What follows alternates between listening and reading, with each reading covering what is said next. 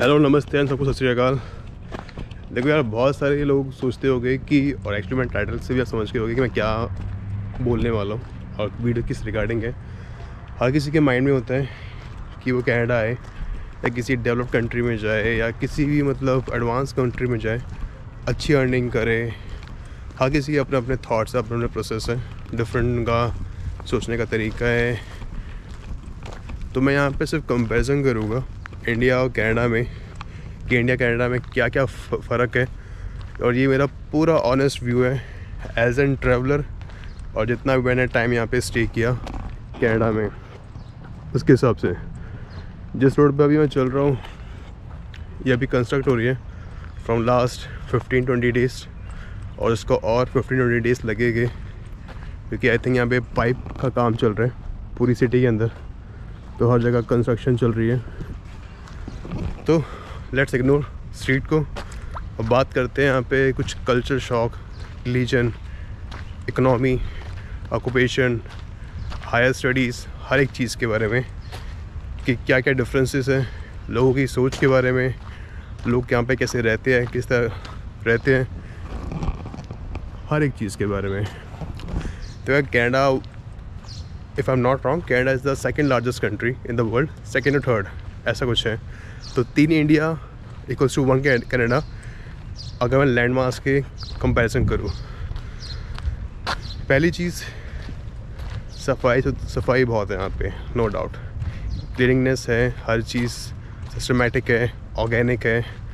लोग समझदार भी है, समझदार नहीं भी होते तो समझदार बनना पड़ता है। बिकॉज़ अगर कुछ भी चीज़ कहीं भी फेंकेंगे या रैश ड्राइविंग करेंगे तो उनको फ़ाइन लगेगा। और इतना फ़ाइन लगता है कि जितना वो पूरा एक महीने में अर्न करते हैं, उतना उनका एक बार फाइन में निकल जाता है।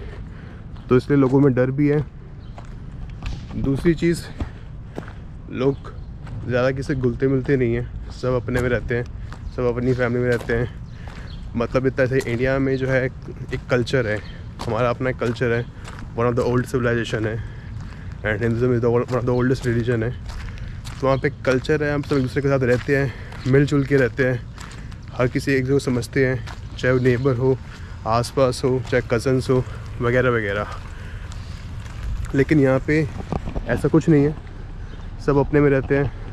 पैसे कमाओ, खाओ इन्जॉय करो लाइफ और सब अपनी ज़िंदगी में मस्त हैं। मस्त और बिज़ी भी है। बिज़ी इसलिए भी है क्योंकि खर्चे भी ज़्यादा है और उसके लिए कमाना भी उतना पड़ेगा अगर आपको अपनी सारी ज़रूरतें पूरी करनी है।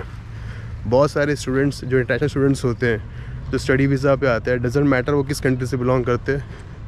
उनको कोई लोन लेके आता है, कोई अपनी फ़ीस खुद पे करता है, उनके पास पैसा होता है। तो हर किसी का अपना अपना पॉइंट ऑफ़ व्यू होता है। तो वो चाहते हैं जितना ज़्यादा अर्न कर पाए, इतना उन्होंने इन्वेस्टमेंट करी अपनी हायर स्टडीज़ पे, उसको वो निकाल सके। तो हर कोई यहाँ पे double job triple job different different तरह की जॉब भी करते हैं। बहुत लोग कुछ उल्टे सीधे काम में भी पहुँच जाते हैं।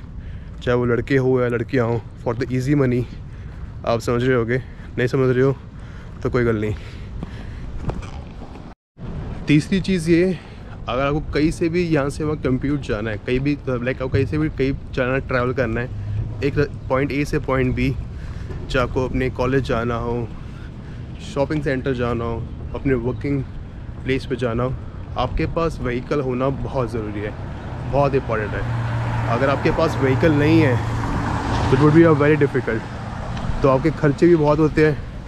या तो आप अपना व्हीकल ले लो। अगर आप व्हीकल नहीं ले सकते, उतनी अर्निंग नहीं है तो बहुत बच्चे ऐसे भी होते हैं जो स्केटर बोर्ड ले लेते हैं, या साइकिल ले लेते हैं, या बाईसाइकिल ले लेते हैं, चाहे इलेक्ट्रॉनिक हो, या कुछ भी हो, वो उसको ले लेते हैं।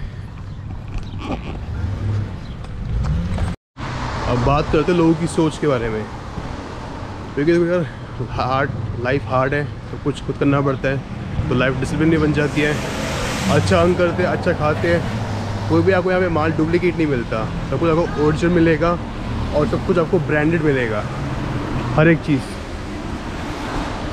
हर एक चीज़ आपको ब्रांडेड मिलेगी। चाहे आप किसी भी स्टोर पे जाओ, चाहे आप कॉस्को मटर गया यार, चाहे आप कॉस्को यहाँ पे कॉस्को एक रिटेल शॉप है सॉरी होल सेल शॉप है, या वॉलमार्ट में जाओ, या दुलोरामा में जाओ, या दो तीन चीज़ें होती है। तो रिटेल मार्केट बहुत सारे रिटेल मार्केट्स हैं आपके नाम मुझे मालूम नहीं है।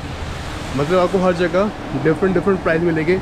अगर एक जगह तीन डॉलर का है, दूसरी जगह चार डॉलर का है। वही सेम चीज़ सेम क्वालिटी सेम क्वान्टिटी कोई का कम क्वान्टिटी मतलब आपको प्राइस डिफरेंट मिलेगा। मेरे हिसाब से जितना मैंने एक्सपीरियंस किया है, सबसे सस्ता जो है, एक मार्केट थी। मुझे नाम याद नहीं आ रहा। वो एक्चुअली सेकेंड हैंड माल बेचती थी, जो मैंने लास्ट वीडियो भी उसी पे करी थी। दूसरी चीज़ वॉलमार्ट तो थोड़ा महँगा है। कॉस्ट को काफ़ी सस्ता है एज़ कंपेयर टू अदर्स अगर आपको बल्क में चीज़ें लेनी है, चाहे कोई भी आइटम हो एक्स वाई जेड कुछ भी हो, आप ले सकते हो बल्क में। लेकिन आपको बल्क में पड़ेगा, उसके लिए आपको सौ डॉलर का कार्ड बनाना पड़ता है कॉस्को का, जो वन ईयर के लिए वैलिड होता है।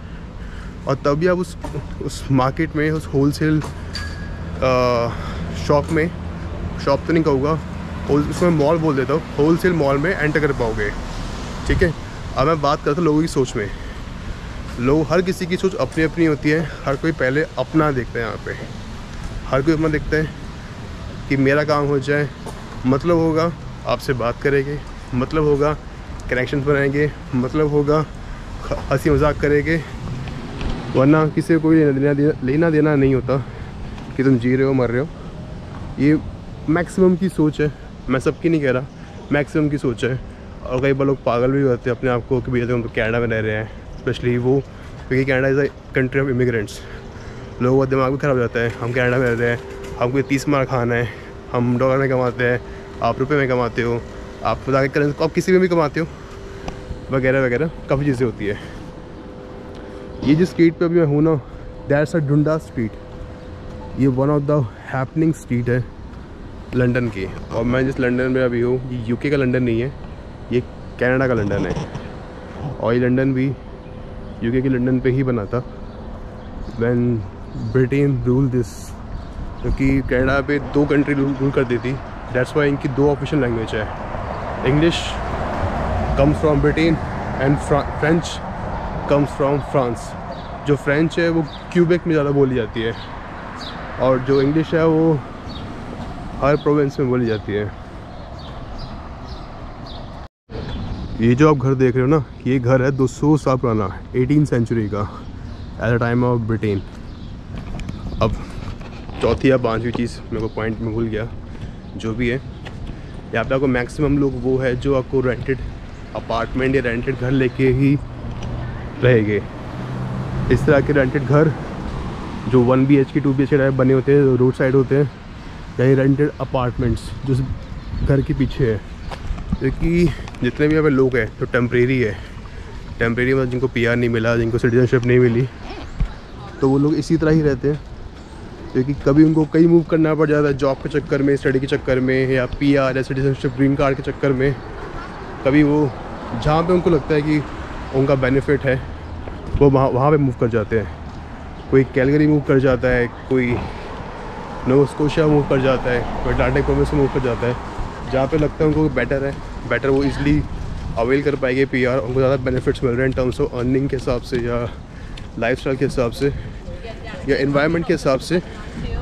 तो हर किसी का अपना पॉइंट ऑफ़ व्यू है। क्योंकि जैसे वैंकूवर की बात करूँ तो वैंकूवर में जो मौसम है वो काफ़ी प्लेसेंट रहते हैं, ठंड और गर्मी में भी, दोनों टाइम लेकिन लंडन साइड या ऑन्टोरियो प्रोविंस की बात करूँ मैं गर्मी में मौसम बहुत अच्छा है, लेकिन ठंड में बैंड बच जाती है लोगों की। बर्फ़ जम जाती है, तीन तीन चार चार पाँच पाँच फुट तक। एक चीज़ और, अगर आप मेरे पीछे देख पा रहे हो तो काफ़ी होमलेस लोग हैं। तो ये जो लोग होते हैं, ये ड्रग्स के एडिक्ट हो जाते हैं। और जब नशा जब चढ़ जाता है, जिसम के अंदर, दिमाग के अंदर तो वो सोचने की ताकत और करने की ताकत फ़िज़िकल मेंटली वो आपको हैंडीकैप कर देता है। तो इसलिए काफ़ी लोग इसी नशे के चक्कर में फिर भीख मांगते हैं। वैसे तो होमलेस शेल्टर होते हैं, लेकिन वो फिर अर्निंग नहीं कर पाते। उनको लगता है कि बैठे बैठे खाना मिल जाए, हर एक चीज़ उनको कंफर्टेबिलिटी के हिसाब से मिल जाए। और इसलिए वो मांगते हैं और जब नशा करते हैं तो उनको सिर्फ़ नशा चाहिए। काम वाम नहीं चाहिए, काम से कोई मतलब नहीं है।